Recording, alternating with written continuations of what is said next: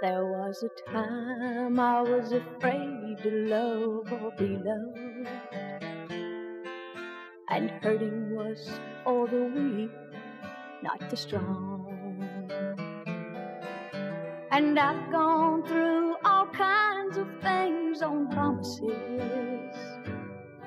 And I still don't know the difference between right and wrong. And I keep hearing myself asking me, Who am I? And what is it I'm trying so hard to do? And I'm not sure I've ever trusted anyone completely. But does it matter that I took a chance on you? Does it matter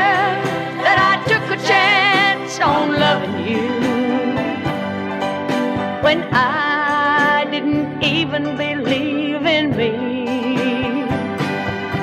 Does it matter at all to you that I wanted to be what you wanted me to? And I wanted so much to be just right for you. I guess it's just my nature to ask questions. So I hope that you won't mind much when I do. And even though I know I'll never know all of the answers, does it matter that I took a chance on you?